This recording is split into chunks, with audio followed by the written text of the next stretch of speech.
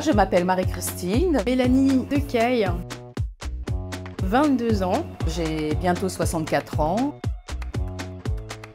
Je suis bénévole pour les Jeux Olympiques sur le territoire de Saint-Quentin-en-Yvelines. Je suis actuellement étudiante. Guyancourt. Toutes les deux, hein, toutes les deux. Hein. Non, je rigole. C'est vrai, c'est vrai. Cyclisme. Ouais, cyclisme. Ouais.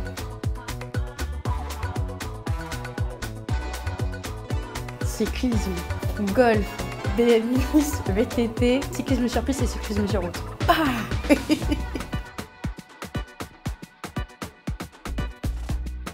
Vélodrome à Montigny, euh, BMX à Montigny également, le golf à Guyancourt et la colline d'Elancourt pour le VTT.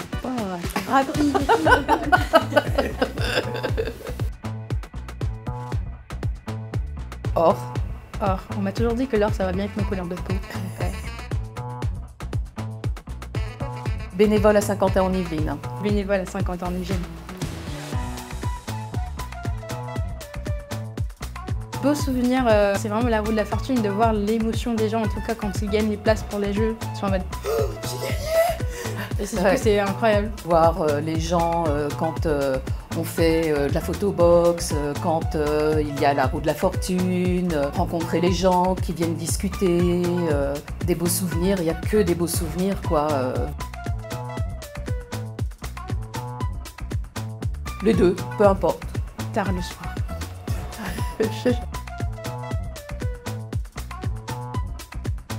Paralympique. Paralympique. Eh bien, parce que. Parce que. Parce on- que. Parce que. Parce que. Parce que. On va porter la Flamme paralympique le 27 août prochain à Saint-Quentin. à Saint-Quentin en Yvelines.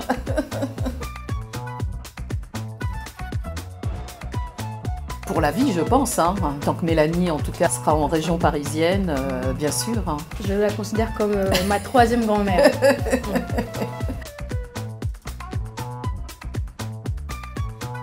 Session émotion famille. Ouais, ouais.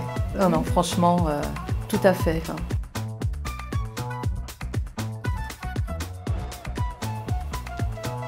Bah euh, oui, c'est nous. Hein. Hein Ah ouais ouais. Ah bah Bah oui, oui, bah ouais. Ouais, c'est nous. hein. Allez.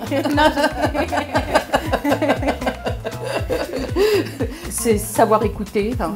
être souriant. Être force de proposition. Voilà, voilà, voilà, hein. voilà.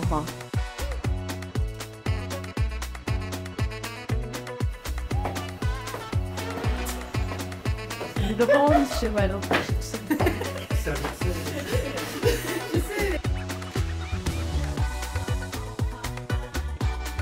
Vive les Jeux à Saint-Quentin en Yvelines